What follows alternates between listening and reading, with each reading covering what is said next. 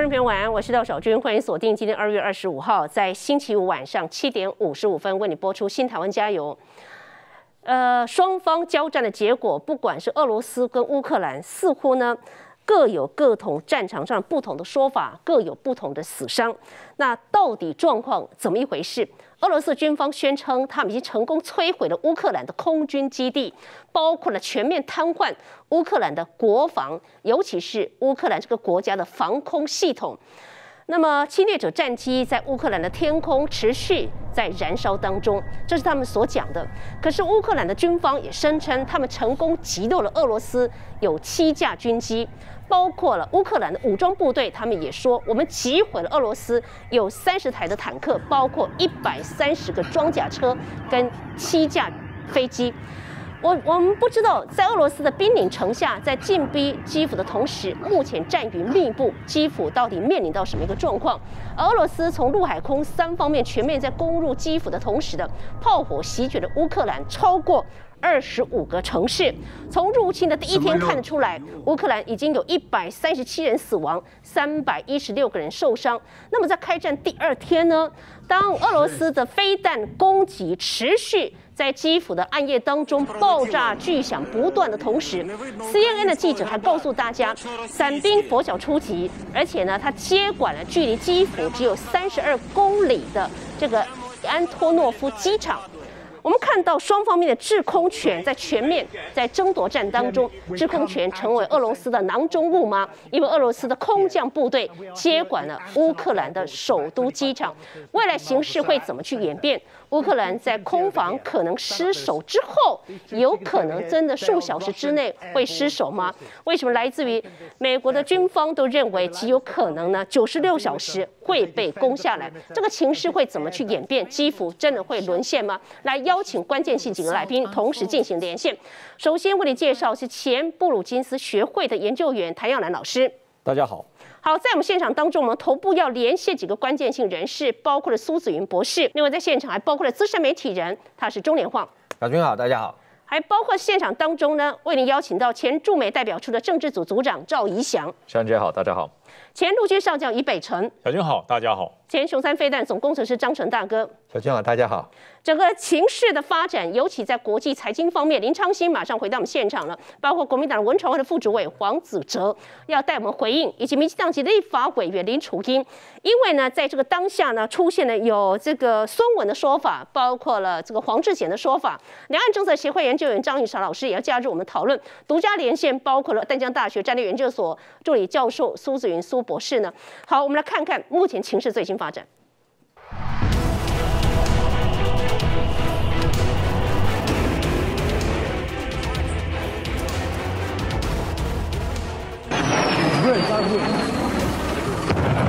飞弹精准命中机场，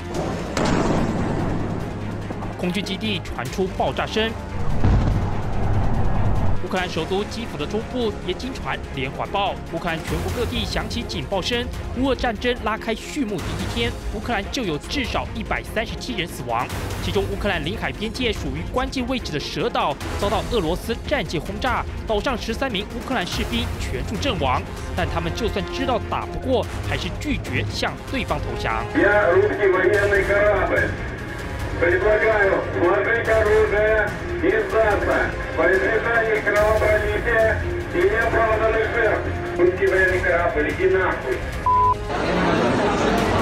乌克兰第二大城米达列斯地铁站挤满了避难民众，地铁地府同样是避难人潮。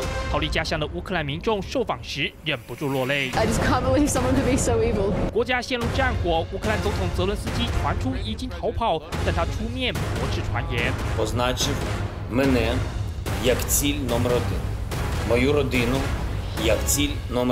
胡子没刮，一身朴素 T 恤，泽伦斯基看起来也没好好睡过。眼看乌克兰岌岌可危，他对于欧美指洞口没帮忙的行径，显然非常不满。Вони відповідають, що з нами, але нас із собою в альянс вони брати 拜登稍早再度批评普京有预谋发动战争，但普京也再次表达自己立场，表示欧美让俄罗斯别无选择。欧美和俄罗斯持续隔空互骂之际，乌克兰目前已经强制十八到六十岁后备军人动员，决心要跟俄罗斯死战到底。那我请教张成大哥，制空权。争夺战当中，目前为止真的让俄罗斯取得了优势吗？基辅现在状况到底有多危急？飞弹攻击的过程当中，到底呈现什么状况？而俄罗斯这一次所出动的又是一个什么样飞弹呢？好，我们先来看现在整个乌克兰的情势的状况哈。那这边是它首都基辅，那我们已经知道了，就是说在它东边呢有两个地区宣布独立，而且已经被俄罗斯承认。那更早之前的克里米亚呢已经被俄罗斯占领。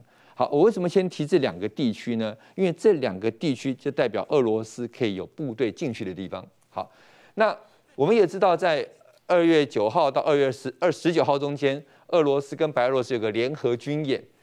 为什么要跟白俄罗斯联合军军演呢？我们把这个乌克兰的整个结结构我们看一下哈，东乌克兰跟西乌克兰，东乌克兰靠近俄罗斯，事实上这个地区呢，我们讲亲俄的人民比较多。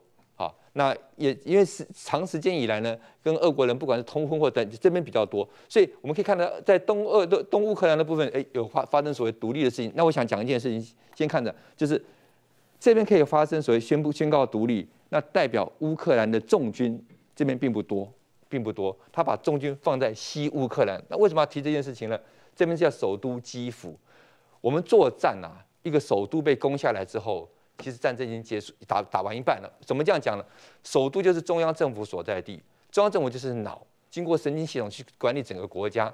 当如果首都出问题的时候，那是不是战争就结束了？所以在现在啊，在我们节目前刚开始前，我我看了一下新闻，有五个国家的大使馆就迁到利利维夫这个地方来了，就靠近波兰这个地方，就已经先先迁了。表这边这个地方是很危急的。好，那我们现在再把这个局势来看的话，那。从这个结果来看，我们先来看一个东西，到底乌克兰现在有多么的危机呀？好，第一个呢，我们看到就是在东部的有个机场，好，东部的机场，这他看到一个巡弋飞弹轰炸机场的画面，这这是拍下来的啊。巡弋机场轰巡弋飞弹轰炸机场是什么意思呢？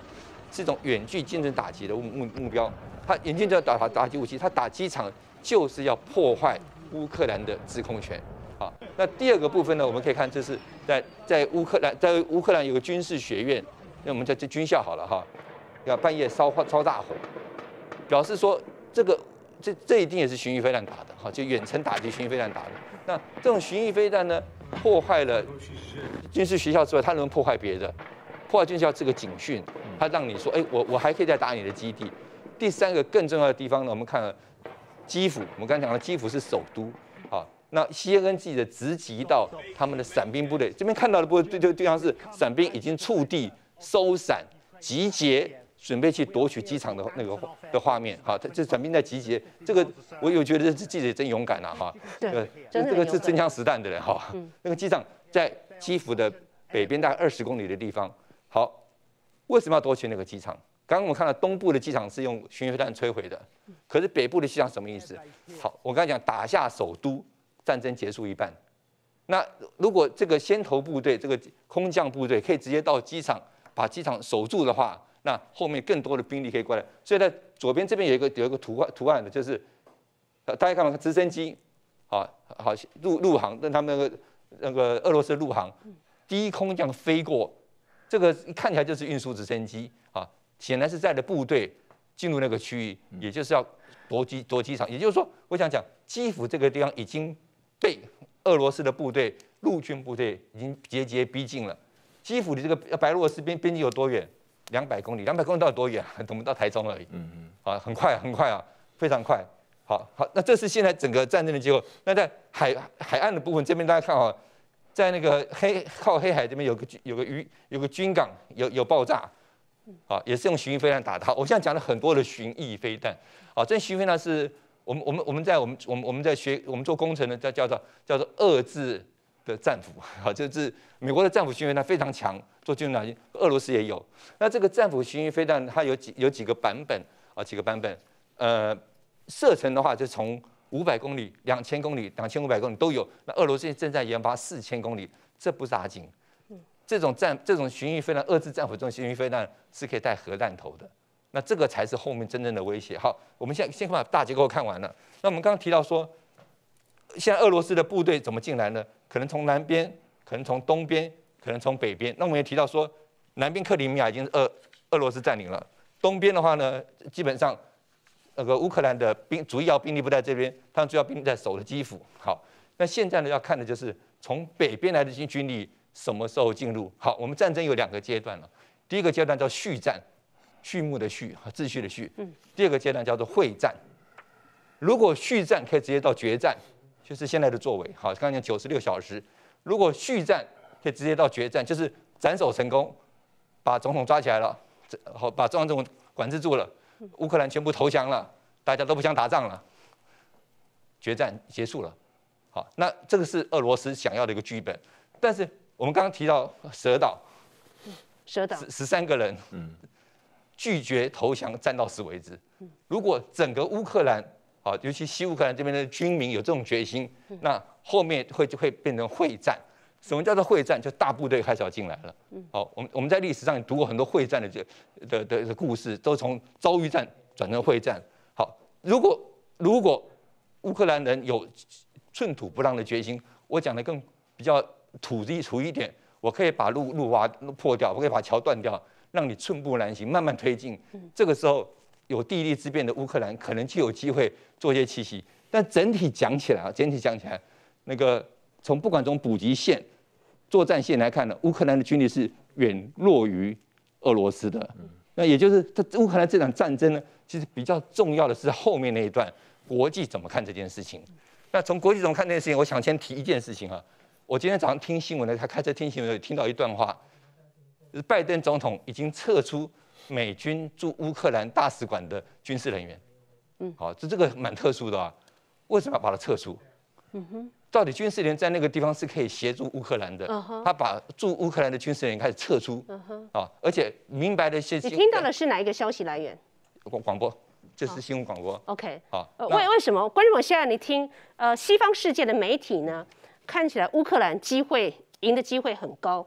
好，如果俄罗斯的媒体呢，看起来俄罗斯呢，这个佛晓出击之后呢，成功拿下基辅，那么攻下乌克兰机会很高。现在两方不同的媒体有各种不同的说法，讯息某种程度是有点混乱的。哎，这很正常的一件事情。嗯，但我比较，我比较希望，我比较会从真正的军军队实力来做比较。为什么要这样做比较？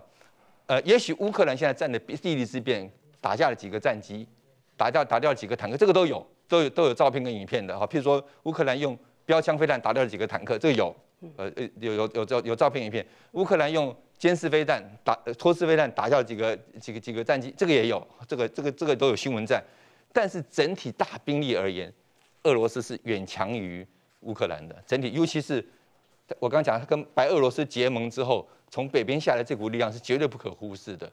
那我想今天为什么想谈谈为什么今天可以让俄罗斯予取予求的就开始动兵，这才是重要的事情。我刚刚提到说，如果说今天我早上听广新闻广播说，哎，呃，拜登叫请那个叫把把美国驻大使馆里面军事人员撤离，那我们看看拜登到现在到底做了什么？嗯，他整整个战争为什么变成现在这种局势？嗯，啊，我看的观点就是姑息。姑息，姑息。嗯，从有开始有战争可能性的时候，北约用了各种理由说乌克兰不能加入北约，各种理由，用了各种理由说我们美军不能参战，就是美国不能介入，用了各种理由。我觉得那些理由哈都是言之有理，但是呢，确实给了俄罗斯做一个作战的准备，让我们想起了什么情形？二次大战，二二次大战前这个国家叫波兰。嗯，波兰，嗯，那个时候也是姑息主义啊。是，波兰呐，到 二次大战宣战之后，有几个月的时间叫做假战，根本没有打战。英化根本，英国跟法国根本没有出兵。那时候的苏联跟德国就把波兰占领了。嗯，假战。嗯，呃呃，已经宣战哦。嗯，已经宣战。看它的地理位置。对，好，波兰在这个地方，哈，英化在那个地方。这这个时候，那个时候苏联是在这个地方，波兰刚好在德国跟苏联交界的地方，然后已经宣战，二次大战已经宣战，英法已经都对对那个德国宣战了，没有任何作为，波兰就被德国跟俄罗跟苏联瓜分掉了。啊，那我们在东方呢，在亚洲呢，也是我们对日抗战。我们看的在那我们对日抗战过程中，我们中国有很多外国的殖民地，那些殖民地呢，那些外军就各国列强的军队，看到日军怎么样杀烧如月，没有反应，姑息。好，我们现在把这两个事情来看，如果日军那么强大，中国这么弱，国际都不管，那日日军会不会打中国？当然打。这边其实是这个样子。这件乌克兰这个局势不是今天跑出来的。它是一只眼镜过来的。当然，从乌克兰想加入北约，那俄罗斯说不行，你再在我旁边加入北约，威胁太大，等等等这些迹象。但是，一直到今天为止，不管是北约，不管是美国，都没有任何军事作为。拜登还是要祷告的方式来解决这个问题。这种姑息一定会让俄罗斯动兵动武。现在这差别在哪边？是九十六小时结束。还是四个月结束，差别在这边而已。那乌克兰自自己的战斗决心是最重要的，乌克兰的战斗决心会决定国际后面怎么看这件事情。那我想这个的分析呢，是让提醒我们大家，就说我们在台湾看这件事情啊，要注意这个这个反应，要注意什么？什么为什么要这样讲呢？台海问题当然跟乌克兰问题有不一样的地方，比如说，比如说我们有护国神山，这个护国神山这个因素。好像台积电这半导体产产能，它带动全世界的经济，国际会不会姑息？我们要观察。但是呢，我因为我是军人出身了，嗯，我们是律己从严呐，律敌从宽呐。从我们的观点，我的观点来讲，我会认为说，我们不要靠别人，嗯，自己国家自己救。我们要足够的军事实力，让别人觉得对我们动武他会很痛，付出很大的代价。不要像乌克兰这个样子。乌克兰的现况呢，其实。呃，我讲乌克兰，我我我我我我跟很多朋友讲，乌克兰自废武功很久了，嗯，不是一天的事情啊，嗯，对，他从脱离苏联开始，我讲个故事给大家听，自废武功，自废武功，乌克兰的军事实力本来非常强的，在苏联时期，现在全世界最强最强的洲际弹道飞弹，射程一万六千公里，都是沙弹，它上面所带的核弹的数量，五十枚这种这种这种。沙弹的飞弹，就沙弹的弹道弹道飞弹，如果打到美国本土的话，美国呢就回到石器时代了，回到石器时代，这很很厉害的武器。嗯，那个武器是乌克兰做出来的。哦，好，现在全世界最厉害的弹道飞弹做出来之后给谁？给苏联，那时候还是苏联共和国之一，是整个苏联之一。那为什么讲自废武功？他从宣布说他们要废核，那是已经，那是个战略问题，我就不谈了。之后他们对他们的国防。其实是慢慢松弛的，那当加上国内的政府的不清不清廉，哦，这等等等的事情，让军队的士气慢慢低落，到今天演变成说，人家看到你就是，我觉得不打你我都对不起我自己，那是乌克兰自己的问题了。但是国际的姑息主义更严重。那我觉我觉得我们在台我们在台湾跟他们状况不一样，我们我们我们我们重视自己的防卫，嗯，哦，但是我们不要忽视。万一有一天它也发生战争的时候，国际主席主义怎么看我们？是，呃，张大哥，谢谢你哈，非常关键。虽然呃战略位置，台湾跟乌克兰的重要性跟各方面是不一样，绝对是不一样。但是世界各国共同一样的是，面临到这一种侵略者，自己国家自己救，别人不可能替你打仗的哈。更多的问题跟张大哥请教，你等我一下，我们连线给这个苏子云苏博士。苏博士，我想请教。以目前为止，刚刚看这个张大哥的分析，你觉得目前俄罗斯呃全面入侵乌克兰，现在处于是什么样一个阶段？看得出来他的一个军事战术吗？来，苏博士。呃，小军，我的观察是现在是在所谓第二阶段，很清楚的，就是说我们称之为满洲国时刻，也就是顿涅茨克跟乌干呃卢 乌干茨克这两个共共和国的成立，变成俄国出兵的借口。那普丁是一个政治精算师，他所称身的这 special military operation 特别的军事行动，就是涵括到所谓的维和任务、人道救援任务等等的。接着他立刻就说要乌克兰接受两个条件，就是说去呃解除乌克兰的武装，还有要乌克兰就是中立化。所以它是有限的军事行动，要达成政治目的，很像克劳塞维斯所说的。就是战争是政治另外一种手段的延续。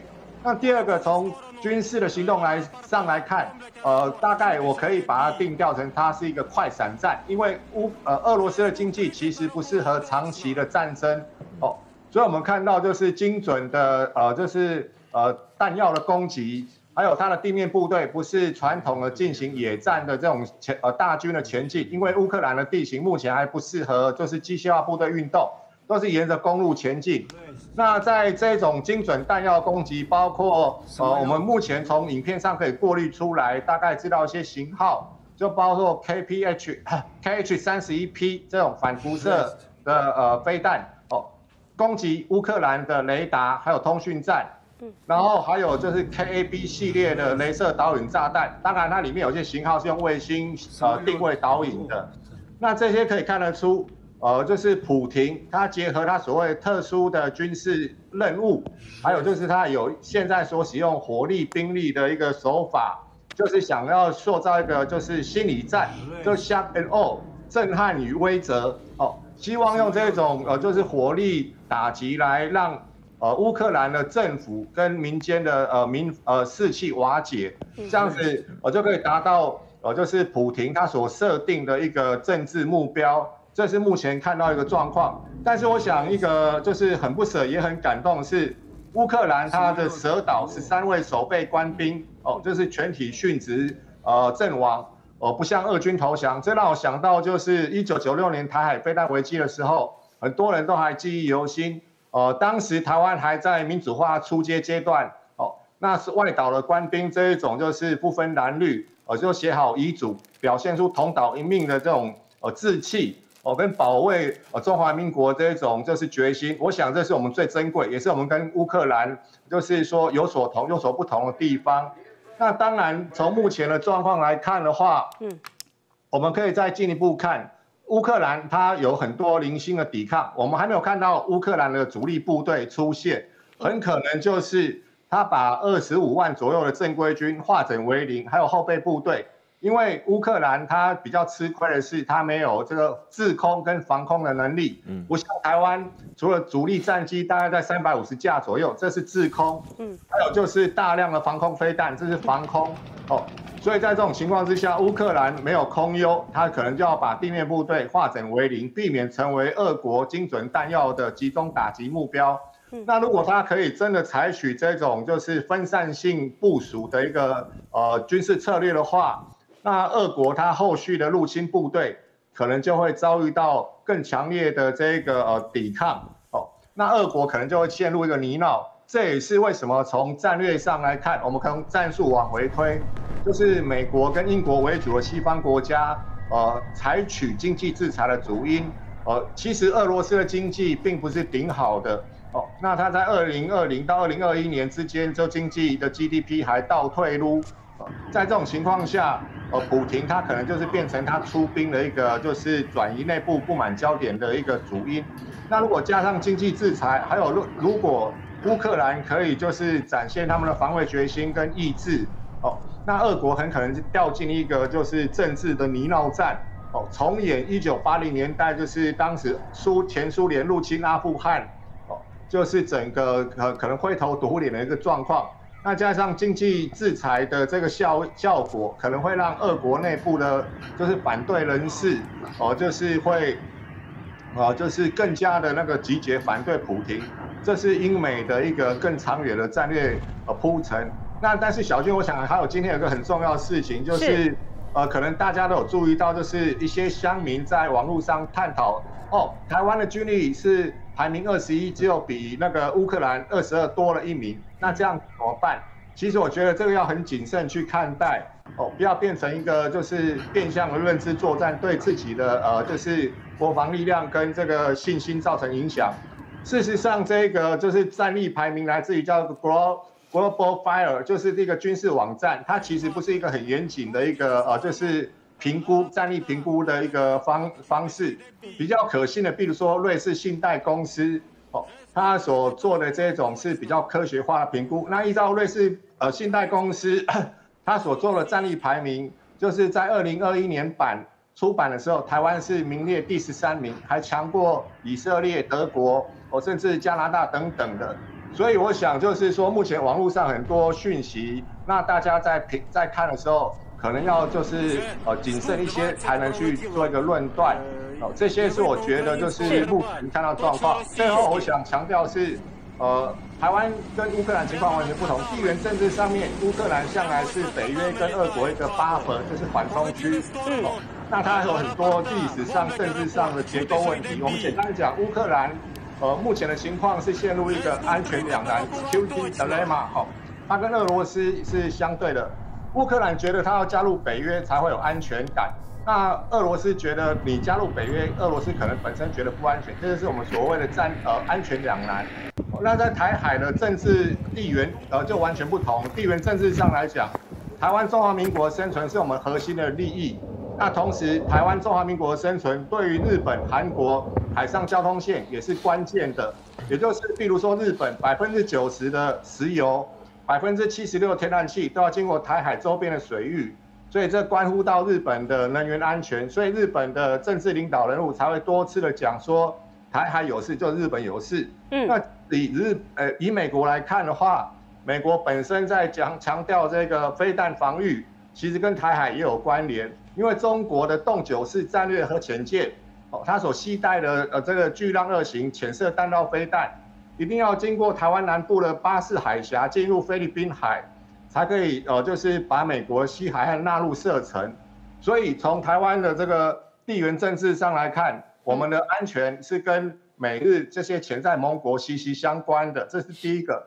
第二个是战场的环境不同。哦，就是乌克兰是所谓 ground warfare，就是地面战，是，就军可能就是走路，还有战车就可以直接进入国境，威胁到乌乌克兰。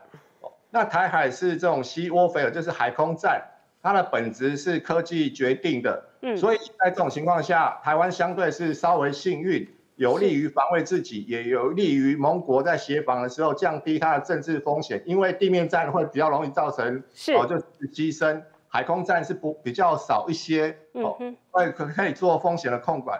那第三个是经济上的不同，呃，乌克兰的整个呃 GDP 就是大概在三千六百亿美元的规模，人均的所得大概也是在，呃，对不起，呃，乌克兰是在三千六百亿美元的规模，那它人均的所得大概在三千八百美元左右。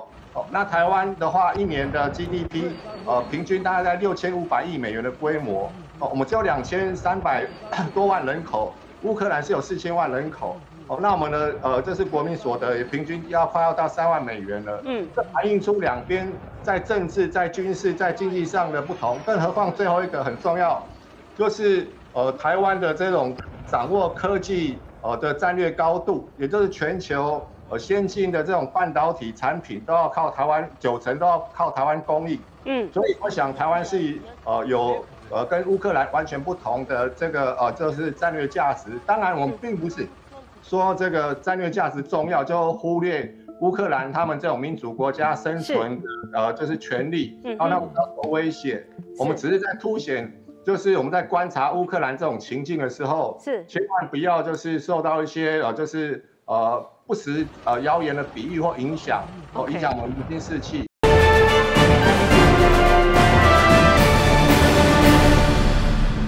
回到这个张博士身上，哈，来，张成大哥，嗯，军力的比较是不是呢？差距非常大？那尤其是地面部队，我们刚刚看到了乌克兰很显然在制空权方面弱了。那么飞弹在俄罗斯飞弹不断的攻击，而且攻击超过二十五个城市的过程当中，你刚刚告诉我们大家，他这一次用的巡弋飞弹非常精准的轰炸许多的军事要塞。可是同时，在此同时，我们看到在距离基辅，好像我印象当中，奥德赛是不是也有二三十公里？他的坦克其实已经登陆了。坦克，那是不是坦克还是在它的乌克兰的周围，还没有全面进入吗？地面部队现在到底呈现一个什么样的情形？尤其是在二月雪融之后，我们曾经说，其实俄罗斯你要全面入侵，你必须要承受极大的风险。而现在，它整个坦克部队是不是有避开这种原野之间，直接走公路？公路跟你原野这的公摩亚是差很多。来，这部分你的观察是什么？这样子啊。我们刚刚提到说，我们现在看看到俄罗斯对乌克兰所做的作军事作为哈，现在仅止于远距精准打击跟少量陆军部队的登陆，现在只有这样子。这样不是没效，这样子的作为如果可以产生斩首行动的效果，那就达到目的了。如果可以，嗯，好，所以我刚刚提到乌克兰有没有死守土地的决心？嗯，好，这这个这是第一点。第二点，我刚刚提到说，如果说乌克兰有失守土地的决心，他的二十几万部队目前还不知道，就是。藏在哪里，我们还是不知道。那我我大胆的预估，通通在基辅的附近，就是因为要做首都保卫战。哦，好，那所以他的二十万大军，真正的正规部队还没有全面进驻，没有。应该讲，乌克兰的大军现在还在阵地里面。OK，好，还在阵地里面。俄罗斯呢？还还没有跟俄罗斯的部队正面接触。俄罗斯的大部队二十将近十九万、二十万的部队，目前还没有大量越过边境。嗯，还没有。嗯，好。当俄罗斯的部队越过边境，就是我进入到第二个阶段，就是会战的情形了。嗯，要进入会战。嗯，好，如果如果达到这种情，刚讲第一个情形，如果现在的精准打击，小小小量陆地面部队的进驻就达到斩首的目的，乌克兰投降了，战争结束了。嗯，但乌克兰如果有作战到底的决心，嗯，那俄罗斯部队进来不是一天进得来的。嗯，虽然他在。接接近两百公里远的地方，已经布置了布阵了一些军队，二将近十九万的部队在那边，但是要进入边境也要花钱。好，小军，你刚刚讲到重点了，他到底怎么进来？嗯，道路进来是最方便的，从不是道路进来一定会增加难度。嗯，好，那如果是这种概念的话，因为不，它不是只有坦克，还要运兵啊，啊，运兵如果从走不是走道路，它难度是有的。那可是大量的陆军部队要进来，那不是只靠坦克了，那道路很重要。所以今天当我听到一个新闻，就说，哎，那个车洛比电厂，啊，俄军进驻的时候，我第一个反应就是说，车洛比电厂那个位置现在不需要车洛比电厂，因为那个能源不是现在要控制的地方，而是那边是不是个交通要塞？他是不是要占领交通要塞，然后让他大部队可以进入进进入基辅？这才是重点。因为我对乌克兰的那个地交通不是那么清楚，但是这个就是一个很重要的点。我们刚看到他们的空降部队，嗯，一个是从伞兵。一个是这个陆航，都去占领基辅的机场。他为什么要机场？这样才可以大量的运输机、大量运兵进来，嗯，快速运兵进来。好，如果在这个结构之下，在这个结构之下，要俄罗斯要进入所谓的会战，他至少还要十天时间准备，才能够把大兵力、大兵力运进来。好，那这个时间。乌克兰不是没有准备，他事实上在小兵力还没有集大乌俄罗斯大兵力还没有集结的时候，如果乌克兰发起战事，奇袭战争，那个中空袭是有效果。嗯，那就看乌克兰有没有一个像我们于将军那种懂得作战战术的，在那现场做指挥。好，那也就是说，以现在局势讲起来，从装备讲。从战战术战略位置讲，俄罗斯真的占上风上风，但是不代表乌克兰没有机会。来，张大哥，我想请教一个问题，是呃，美军说九十六小时之内极有可能可以拿下基辅。对，那我们呃做一种假设，第一个真的可能速战速决，好，速战速决。我们假设好九十六小时，如果不是速战速决，这个仗如果持续到一个月，谁输谁赢，是不是很难说？乌克兰。现在看起来是兵败，兵败的乌克兰难道代表他没有逆转胜的机会吗？那你怎么看？在在我的观念里面哈，一个国家的作战军事力量哈，后面有两个东西支柱很重要，一个叫科技，另外叫做经济。那我们来看看俄罗斯的经济力量好了，嗯，好，俄罗斯的只看 GDP 的话，它跟韩国一样多，南韩一样多，嗯哼，只看 GDP，当然还有别的外汇存底，很多还有还有很多参数。为什么只看 GDP？因为只看这个参数了，就知道它的经济实力到底摆在哪个位置了。那也就是它能不能打持久战，俄罗斯能不能在经济上打持久？我想说，战争的背后有军事的力量，背后有两个东西：一个科技，一个经济力。是。那从经济力来讲的话，那乌克俄罗斯能不能打持久战，其实是个问号。是个问号。是个问号。所以这就是为什么他们会用现这个现现在的作为，就是我讲续战的方式。赶快去斩首，赶快去去想赶赶快把战争赶快结束，然后我用大的兵力来威吓你，你不投降我就怎么样？这是俄罗斯的想法。嗯，啊，但是如果真的再打下去，我跟你讲，至少要十天才能把大兵力拉进来。嗯，然后拉进来之后，后后面的战争，如果乌克兰有有有决战的决心的话，其实还是可以打得下去。OK，虽然没有制空权，不代表不能打仗。是，所以西方的资源，包括如果源源不绝。关键性的武器也提供的话，重点是乌克兰自己当地人的决心。即使是持久战，如果打一个月，谁输谁赢很难讲，很难讲而。且乌克兰如果撑住了，哎，俄罗斯恐怕惨哦。而且世？界局势可能会改变，你说什么世界的局势，？OK，因为现在我这样讲哈，乌克兰我刚才讲乌克兰自废武功很久了，嗯，所以人家不太想去帮你。是但是乌克兰如果展现我守土决心的时候是，别人的看法会改变。OK，为什么可以让一个想活想生存下去的国家让它灭亡？这嗯这这个国家这概念就改变了。好，谢谢张大哥。同样的问题呢，我请教苏博士，包括这个太阳蓝老师哈。来，苏博士，你人在线上，来，苏博士，这个问题就是我刚刚所请教的。现在呃这样的一个状况啊，一方面，刚刚你特别提到了美苏现在所展开的一个战略里头，不排除是不是也不排除进入长期作战，两个层次的问题。第一个，外界一直在回疑，拜登跟欧洲的制裁政策是留一手。来，第二个问题，真的可能面对长期抗战、长期作战的话，如果持续一个月的时间，是不是谁输谁赢都很难说？来，苏博士你怎么看？好，我们简单讲，就是说，俄国跟美国目前某个政治上面的战略是一样的。俄国希望用快闪战，我不称为闪电战，因为俄国没有持久的作战呃战争的遂行能力哦，所以我把它称为快闪战，就是用这种兵力的威吓，还有火力的打击。我们刚才讲，它是战略心理战，要瓦解乌克兰政府跟民心的一个心防。哦，那呃，他的目的就是要至少就是假设可以推翻这个泽文斯基亲西方的政权，那可以有个亲俄政权，那就达到一定的目的。同样的，目前美国、英国由于就是说，呃，乌克兰它不是北约成员国的这个原因，哦，还有就是俄国手上有六千件核武器的这个呃，就是计计算，哦，所以他用经济制裁。哦，就是让俄国他如果要打这个战争的话，是没有持续的一个续航力的。我们知道，刚才有提到，俄国的经济其实不是那么的呃顺畅，就是它在二零二零到二零二一年间，它的 GDP 是倒退路的，嗯所以内部它其实贫富差距非常的大。嗯在这种情况之下，俄国内部就有很多的这不满势力。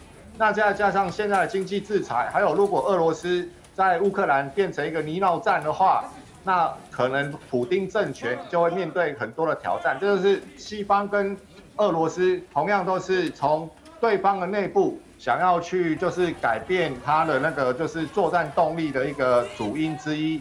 那第二个最关键的，我觉得在现在第三阶段，如果开始我们称之为终局之战，关键不在俄罗斯，也不在西方或美国、英国手里，我觉得关键在乌克兰手里，因为乌克兰的地面部队其实数值呃并没有说呃那么像它的数量那么少，就是说一定会占占那个就是吃亏。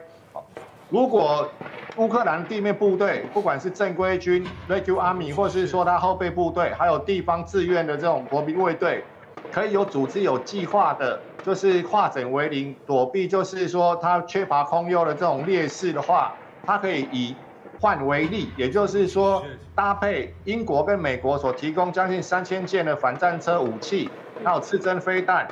哦，它不会形成一个传统的营或是一个旅的一个主要目标被呃俄国的这个精准武器给摧毁，它变成比较化整为零的话，很有机会可以阻止这个依靠空路呃公路系统运动的这个俄罗斯的坦克纵队，因为我们知道，如果你在原野上，如果在呃就是秋天或者夏夏末的时候，乌克兰是比较像是草原地形，适合这种机械化部队运动，可是，在春季。这时候就是不适合乌那个大规模机械化部队运动，又要走公路，那在公路上就变成集中的一个车队目标。嗯，所以这就是为什么说第三阶段如果进入到终局之战，乌克兰自己的防卫决心跟意志是有机会可以扭转战局。